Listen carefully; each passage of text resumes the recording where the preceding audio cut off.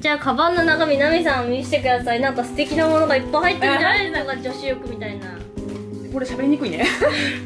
ちょっとでかいですね。ちょっとでも飲み込むのもちょっとあれなので、いや本当に極力極力荷物を減らしたかったからはい本当にしょうな何も持ってないですあ本当持ってこなくていいですよあるのに。言えばよかったですね。いやいやいやいやなんか給食袋みたいな。やっぱ体操着袋ですかこれは。結構入ってますね。こんなに。まずじゃあ大きいのがはい。さあアジナスのスーパースターなんですけどあの内履きを持ってこいと言われたのでこれ洗いました。は綺い。内履き用に洗った。やつです、はい靴で結構重いですよね。そうなんですよ。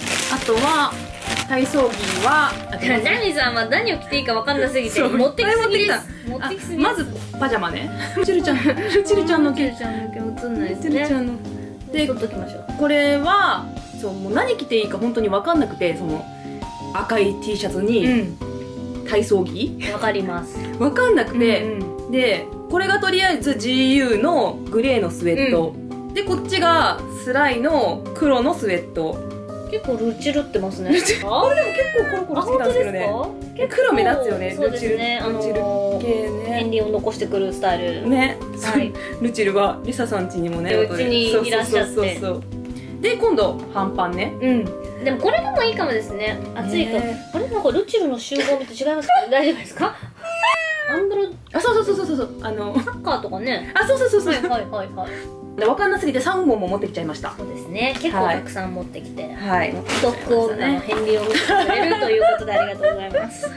これはちょっとね中開けれないぐらい普通に下着です。下着です一番なんか体操着袋っぽいのが下着だったんです清潔感溢れてるああ確かにホワイトで清潔感出してくる感じですね。私は靴下もはリサさんと一緒で丸めるタイプなんですけどもあそっち側ですね。あのこれも一応くるぶしタイプとなんでですか？逆にあのハーフパンツにこれ履くんですか？ガチすぎる。でもこういう50代のお父さんいますよね。こういう50代のお父さんあの近所のあのジムとかでうん。結構昼間からウォーキングしてますよね。くるぶしの方がいいかななんかそれもそう。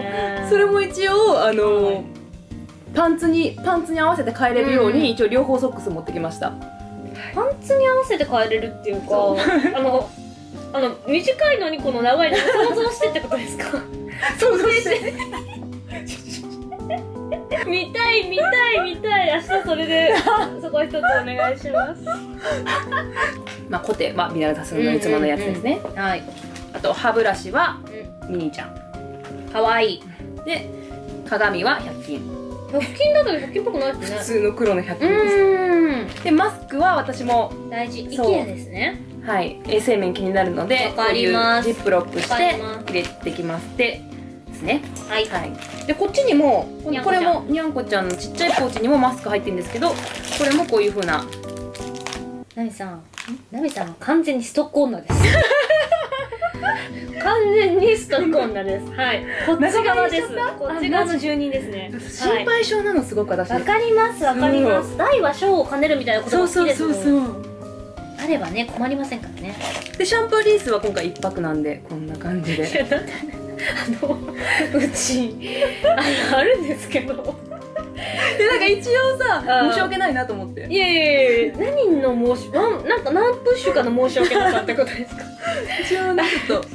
まさかのビジネスホテル感覚で何もないと思ってますまだあります。まだあります、まだあのそうそうお引っ越しの前とかもあるしね。ねあと2日3日後にね。引っ越しなんで、そう。そのねいつもの歯のやつ出ましたフロス。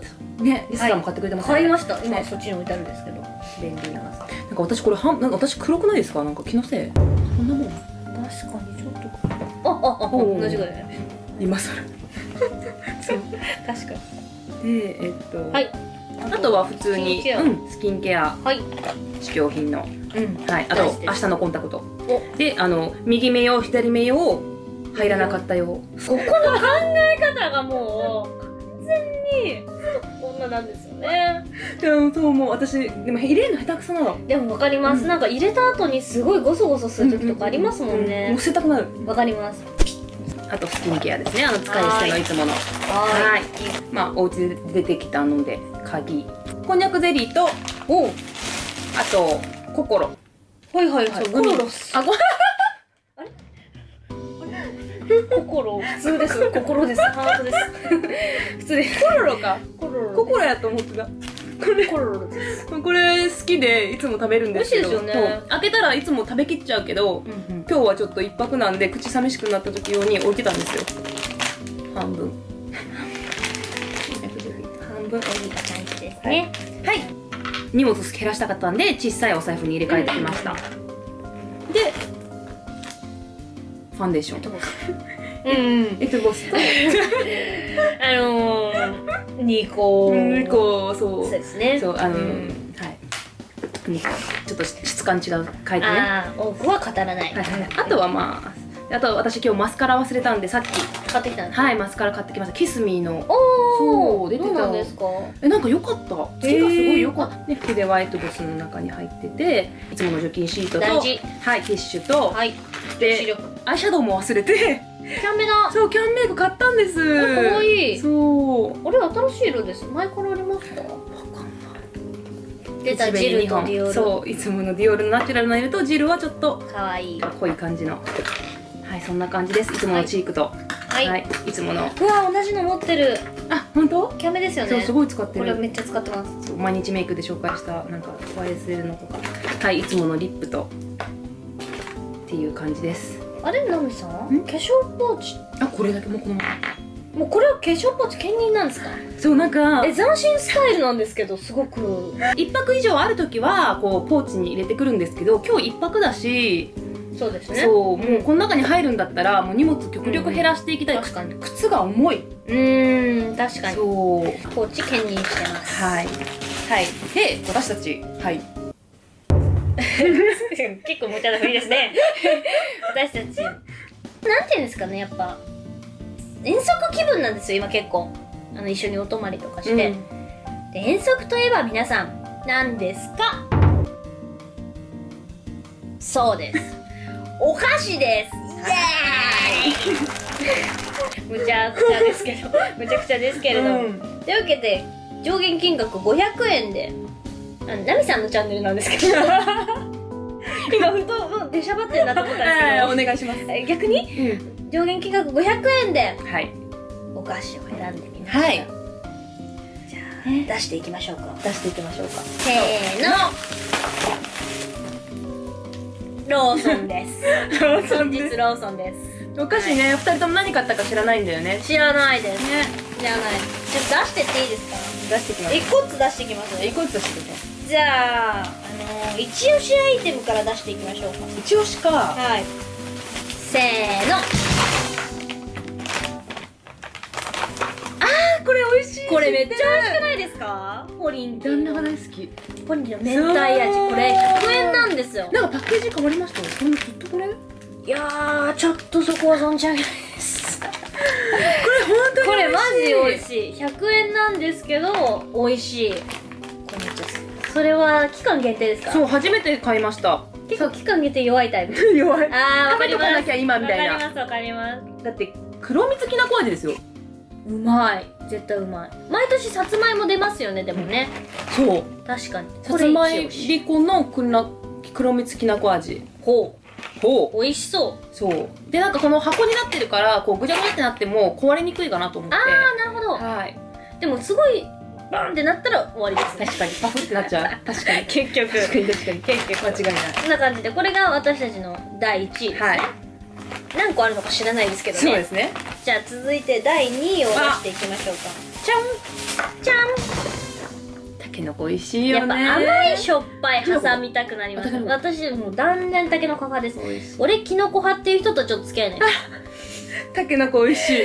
完全にたけのこですね。でもこれねたけのこからきのこにねだんだん移行してくる時が来るよ。嘘ですよ。なんかねきのこ美味しくなったの最近。えどこら辺なんですか？チョコの量ですか？えなんかなんだろう。みそれか味覚が大人になったのかえ 大人になるとキノコ少ないみたいなそういう方向性なの。結構周りも多いの。えー、本当私もずっとダントツたけのこしか食べないと思って、はいはいはい今もたけのこの方が比べられないけど、大好きだけどたけのこ、きのこだんだん好きになってくるかえじゃあ私まだキッズってことですね。らそうキッズ。キッズでした。そちらは？はコンソメ。のプリング入れ物的にやっぱりこう開けたり閉めたりそう。そういうのを考えたってそうなんです。私もともとそんなプリングルス食べるわけじゃないんですけど、はい。やっぱポテチとかって、まあ、みんなとも分けやすいしその中でこの開けたり閉めたりあと潰れにくいっていうところで、ね、コンソメは食べたことないんですけどこれを。でいつもはそのサマサマーオニオンじゃないや。サニーオニオンじゃないや。サワークリームサワークリーーム。サワークリームかわ オニオン。いいサニーオニオン。サニーオニオン。かわいい。サニーオニオン。そうそっちは食べる機会はあるんですけどコンソメは初めてだったんですけどちょっとそっちの方サニーオニオンは、うん。えサワークリームです。サワークリームです。サワークリームは 紛らわしいこと言ってサワークリームは、はい。あの後味が美味しいんだけど後味がちょっと悪いあんまり好きじゃないなんかうん。なんでちょっとコンソメにしてみました。はい。はい。みんなの優しさを考えた第2位はい。じゃあ第3位。私もうないんだけど。せーの。ドンハッピーターン。あ最高ハッピーターン。マジうまくないですか、ねしかもこれ当たりでハート入ってる時ありますよね。これも今もやってるのかわかんないけど。うん。パウダー増量みたいなのが好き。ああ確かにこれはなくて。1ないんだ。個50円なんで安い。2個買ってみました。やっぱストックっていうか。うん。やっぱ1ストックね個を開けてまだもうちょっと食べたいっていう時の希望になりたかったなるほどね。なるほどとねいうわけでこれでもなんか個包装してないの好きじゃないんですけどこのねちっちゃいのいいとこなんでハッピーターン買ってみました私はキットカットのチョコミント。美味しそう。そう私チョコミント大大好き。美味しいです。あ嬉しいチョコミント。そうチョコミント？あはい。チョコミントはいチョコミント大好きです。嬉しい。なんか好き嫌い分分かれるじゃないですか。かれますめちゃくちゃ分かれますねは私大好きで、うん。で体育祭で疲れたらチョコが必要かなって思ってこのチョコミントっていうのはあの初めて見たんで、ん。キットカットの食べたことないです、ね。最近出たんですかね。これも期間限定ですか,、かな。そうですよね。買ってみました。疲れた時に。はい。いいですね。ここに来て結構違いが出てきたなって思うんですけど、はい。